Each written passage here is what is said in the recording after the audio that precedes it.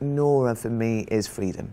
Uh, Nora is the possibility of who we can be when we meet ourselves. I'm Noma Dumezweni and I'm playing Nora in A Doll's House Part 2 at the Donmar Warehouse. Lucas Hnath has written this extraordinary follow-up to A Doll's House by Henrik Ibsen.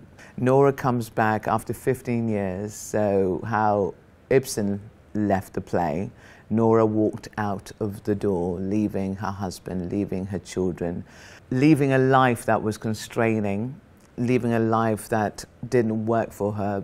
It's about relationships, it's about humans, it's about freedom. Those are the things that just hit me as I read it and going, how do we navigate through life. And I'm at a point in my life which is about how do I navigate? Who is me? Who is the I uh, of Noma navigating through this world that we live in?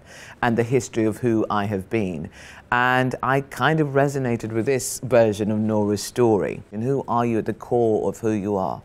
It's a lovely conversation to have, especially for me as a woman of my age and of my history and of my culture and of my background. Um, me Noma, that's what I tune into into Nora.